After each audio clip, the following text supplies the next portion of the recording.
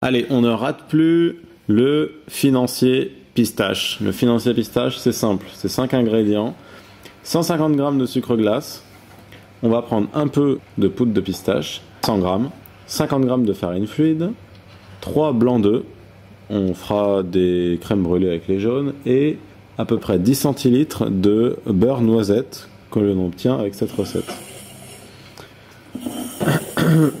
C'est-à-dire 110 centilitres de, de beurre noisette, c'est 140 g de beurre. Donc c'est très simple la recette du, du, financier. Une fois que vous avez fait votre beurre noisette, vous mélangez tous les ingrédients dans cet ordre. Donc le sucre, la pistache, la farine. Une fois que vous avez mélangé tout ça, vous mettez votre, vous mélangez, vous mettrez votre beurre noisette, vous mélangez, c'est terminé. Voilà. La seule chose que vous pouvez rater, c'est le beurre noisette. Donc regardez bien la vidéo du beurre noisette. Euh, il doit avoir une, une odeur noisette. Le beurre, quand vous le cuisez, vous le cuisez jusqu'à ce qu'il ait une odeur noisette et qu'il ait une coloration marron. Voilà.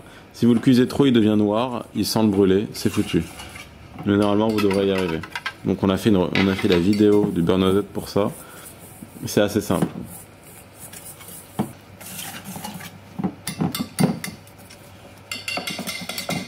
Vous mettez ça dans des moules, on aime bien les moules rectangulaires pour le financier. Nous on a fait des moules, euh, des moules qu'on utilise plutôt pour, euh, pour une autre pâtisserie. Des cannelés. Et donc vous enfournez ça à 180 degrés une vingtaine de minutes. Euh, dès que le, euh, que, le, que le dessus du financier a l'air cuit, c'est bon. Vous le sortez et vous préparez le café. Et si avec ça vous ratez encore les financiers pistaches, vous nous écrivez. Votre petit cœur pistache bien mou.